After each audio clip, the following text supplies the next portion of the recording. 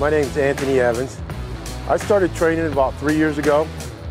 And the reason I started training, uh, because of my military background, I've always trained, you know, soldiers since 1982. I've been training in some capacity or another.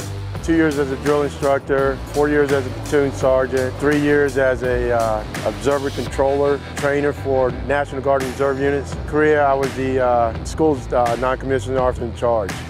So basically oversaw division schools. My name is Nate Jorgensen, so I went through the program to earn my CDL, graduated, and with my trainer, Anthony. The Squire program was really good, I thought. They had uh, four guys that were training, Joe, Joey, Ray, and Luis.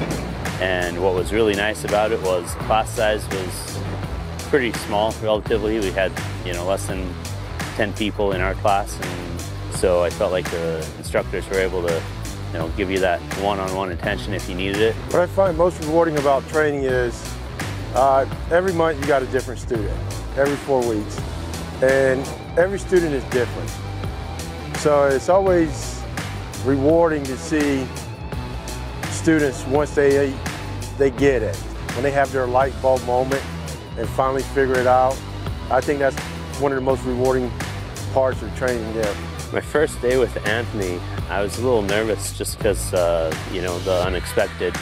But what was really nice was he made me very comfortable. But what impressed me the most about Anthony on the first or second day was, you know, by the time we had two days in under our belt, he kind of knew my learning style and was able to kind of teach me based on how I learned most effectively.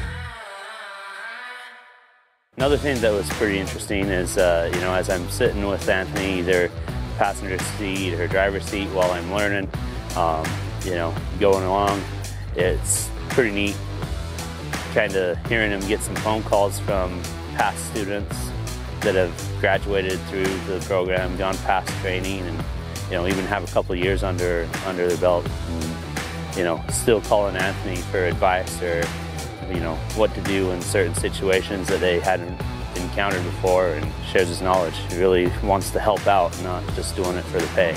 Great guy, great trainer, and uh, you know, it's just real easy going.